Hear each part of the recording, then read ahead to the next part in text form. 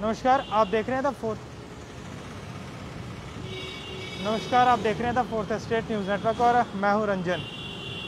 आपको याद होगा, आज से करीब तेरह चौदह दिन पहले कठुआ में एक चॉपर जो है दुर्घटनाग्रस्त हुआ था, जिसके बाद दो पायलट्स जो थे वो लापता बताए जा रहे थे। और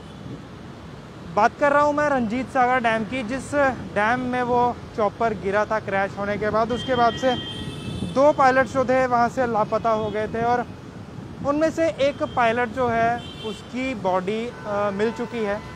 मैं बात कर रहा हूँ लेफ्टिनेंट कर्नल ए एस बात की, जिनकी बॉडी जो है, उस रंजीत सागर डैम से निकाली गई है और उनकी बॉडी उस डैम के जो मलबा है, नीचे दलदल है, वहाँ पर फंसी हुई थी। वहाँ से उस बॉडी को जो है, निकाला गया है और बहुत ही दुखद समाचार निकल कर आ रहा है कठुआ से, क्योंकि आज तेरह से चौदह दिन का तेरह से चौदह दिन का समय हो चुका था और पिछले काफ़ी दिनों से जो है अलग अलग जो है गोताखोर जो है, चाहे आर्मी के गोताखोर हों या फिर नेवी के गोताखोर हों,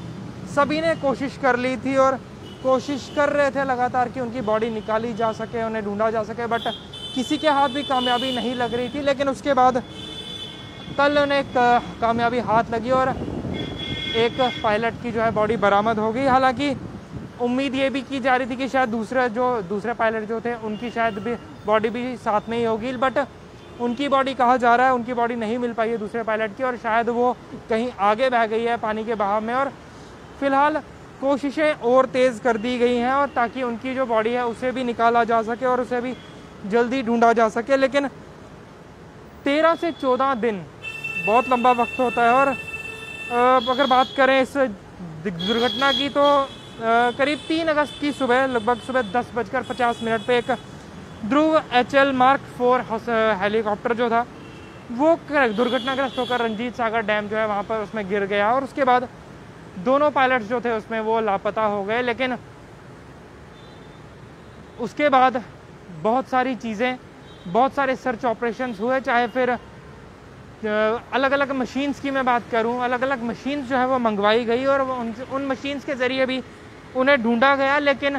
कोई सफलता हाथ नहीं लगी और जिसके बाद घर वालों का सब्र का बाँध भी टूट रहा था और घर वालों ने भी अब बोलना शुरू कर दिया था कि आखिर ऐसी क्या वजह है कि अभी तक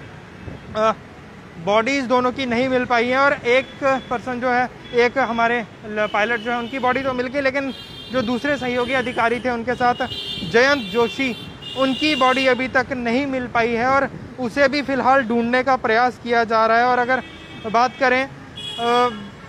भारतीय नौसेना की सबमरीन रेस्क्यू यूनिट है। वो भी इस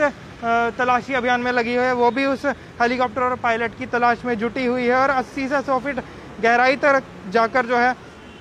इन इन चीज़ इन बॉडी इस बॉडी को ढूंढा जा रहा है। लेकिन दुखद खबर यही है कि फ़िलहाल एक बॉडी जो है वो मिल चुकी है और दूसरी बॉडी अभी भी मिसिंग है। कहीं ना कहीं यही कहूँगा कि परिवार